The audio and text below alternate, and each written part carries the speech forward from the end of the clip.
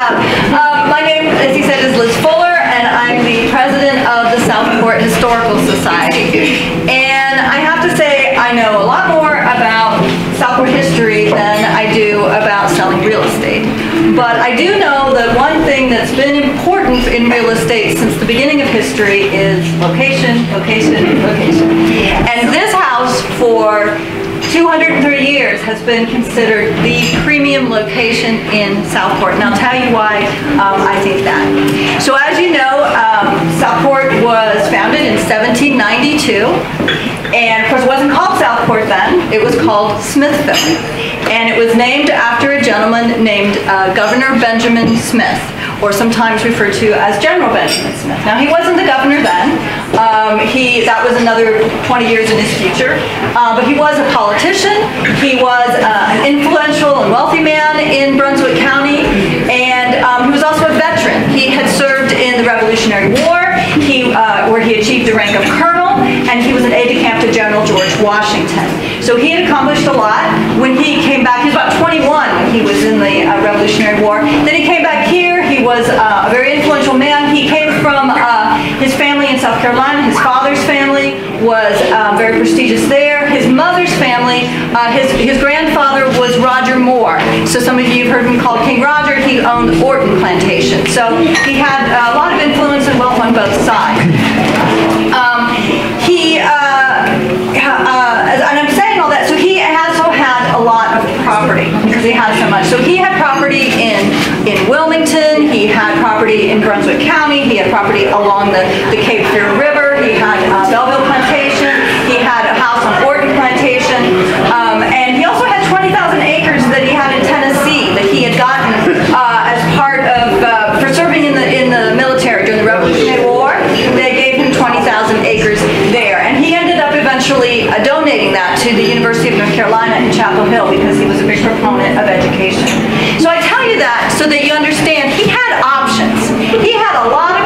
that he could build his summer house, but he chose this location right here in Smithville because he thought it was the best location in Smithville.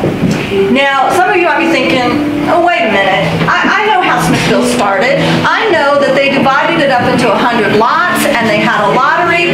He probably just won this, this lot in the lottery and bought it and then told everybody it was the best location. but that's happened. He did win this, this in the lottery. He did win the right to purchase it, but he also owned 10 other lots in Smithville, and several of them were on Bay Street. So he could have chosen any of those lots to build his summer house, but he chose this one. Now, I keep mentioning it was a summer house, and the reason for that is because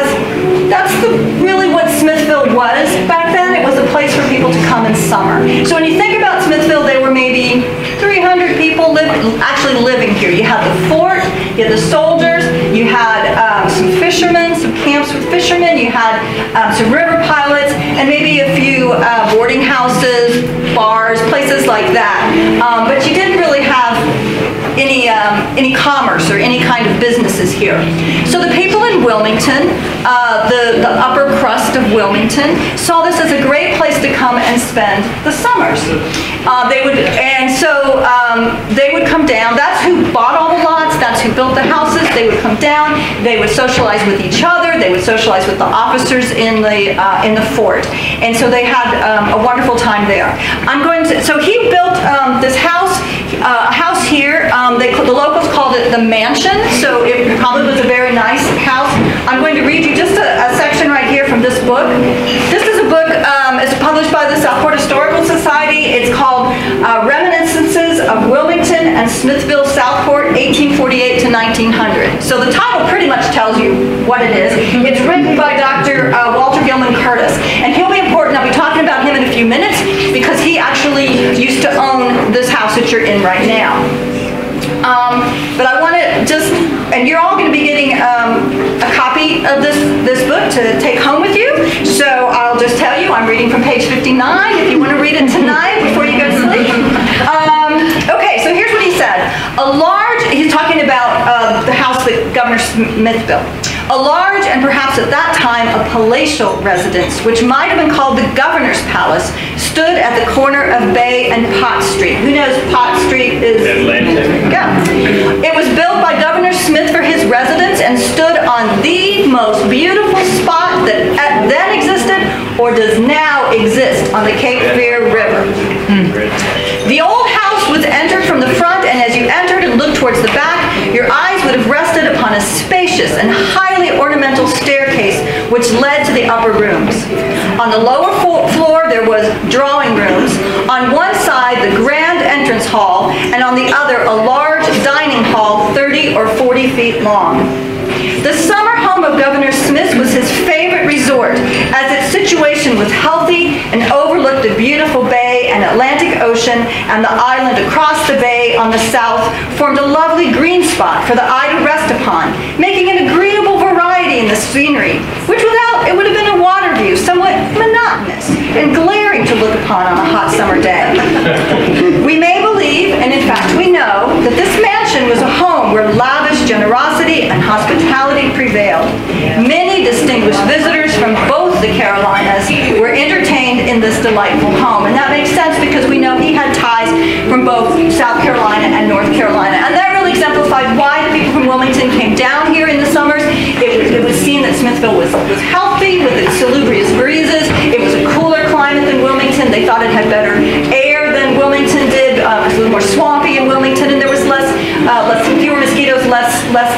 down here, less yellow fever. So they came down for that. Um, after um, Governor Smith passed away, then another governor, uh, Governor E.B. Dudley, he spent his summers here from 1838 to 1848, for about 10 years. Um, and so he enjoyed the summers here. I don't know whether he purchased it or he just rented it.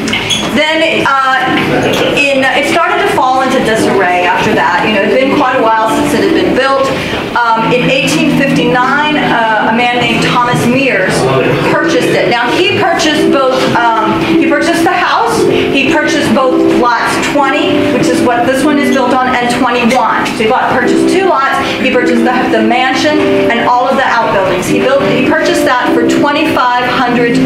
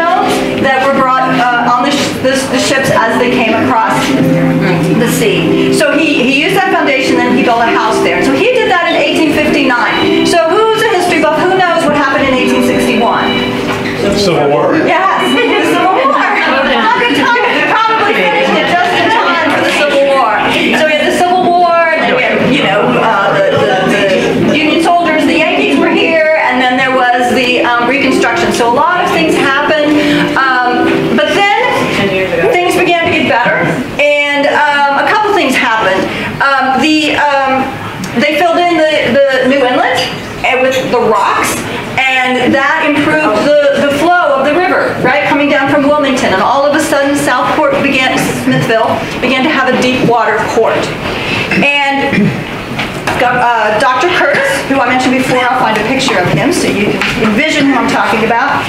He, uh, he was a very, he was an influential man in Southport. Here's his picture.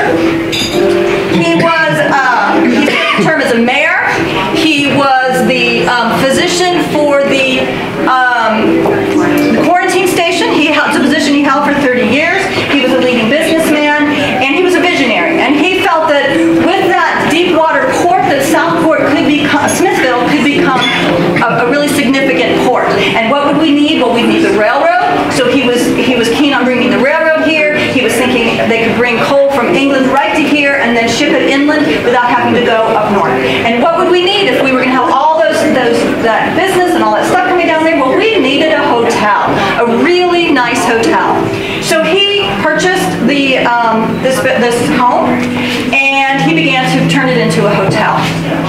So he began working on it. It um, it had three floors. There were um, on the first floor there were 15 rooms. On the second floor there were 15. 15 rooms, and on the top floor there were 12 rooms. There were, I'm trying to think, there were 38 doors, there were 55 windows, there were 38 doors, there were nine hallways. There that was 20 feet by 60 feet. It had 12 windows and two doors. So uh, you're thinking, this is a big house, but how did they fit all of that into here? He didn't. He expanded it. He built a hotel to go all the way through the length of the lot, all the way to Moore Street. He extended onto it. Um, so it was quite quite a, a feat. Oops, not this one. So I'm going to show you. This is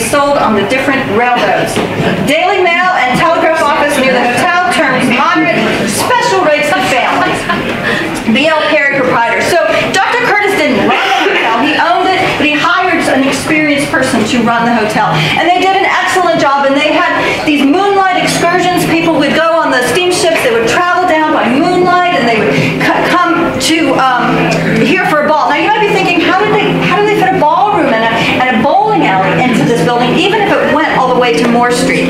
Well, he didn't. They built another building um, that was pavilion. So here's some pictures of it. This is a sketch from 1890s and a photo from 1900. And um, I'll put these up here, was across the, the, the road, and it was very large. And that's where the ballroom was. I'm assuming that's where the bowling alley was. Um, so, and the band, you know, played night and day. So that that was there, and that's what they would come up to. And then that's where the bathing houses were. Um,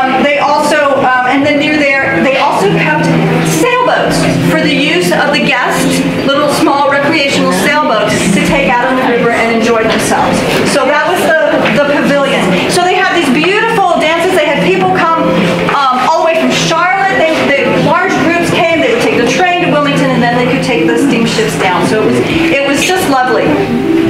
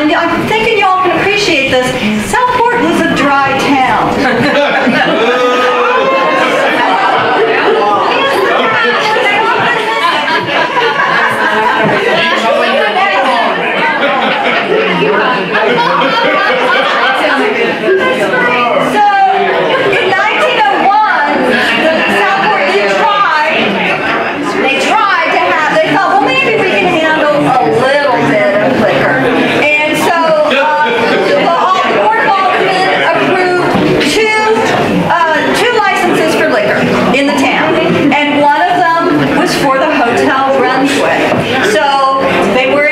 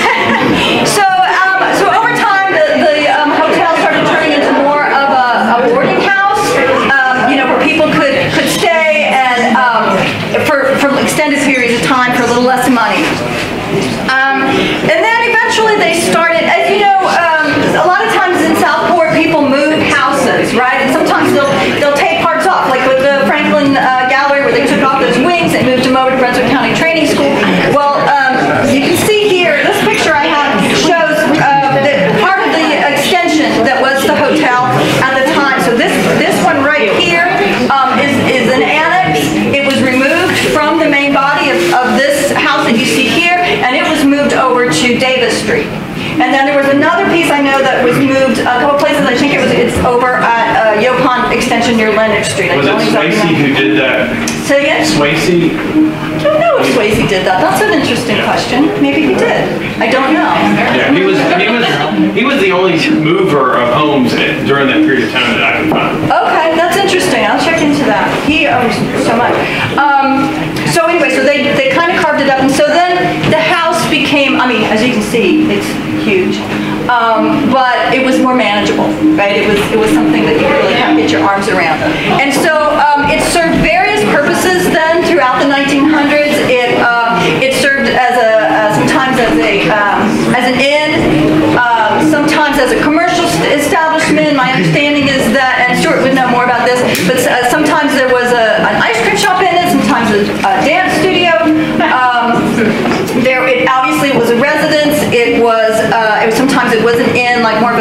breakfast. So in, I believe, 1957, the Arrington family bought it. Is that right? 59? 49. 49. Okay, I'm on. So in the 19th, I should have just stuck with the mid-century. Mid-century. not carry away. In the mid-1900s,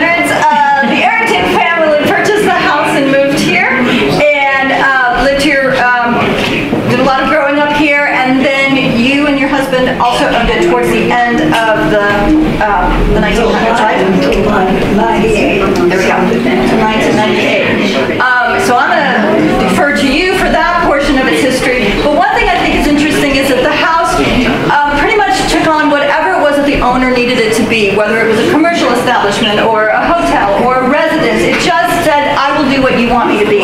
And the one other thing that this house did, and I think this was uh, when Stewart owned it, is that it served as a, a movie set. So uh, this house has been in several movies. I'm not sure how many in total. I was able to find three.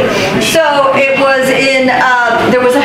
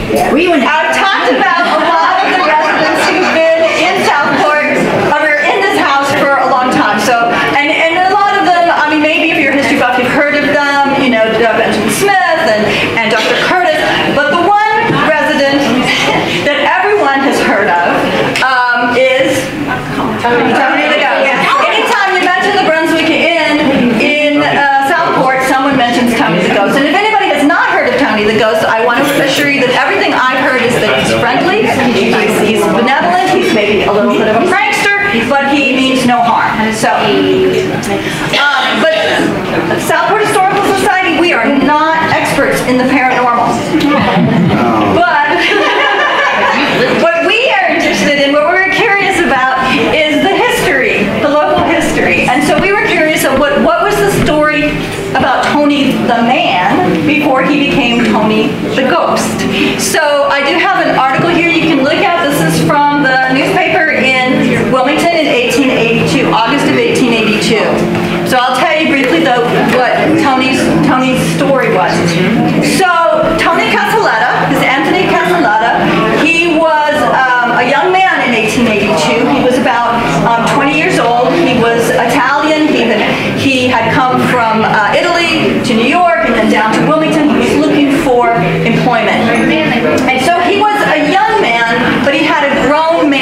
responsibilities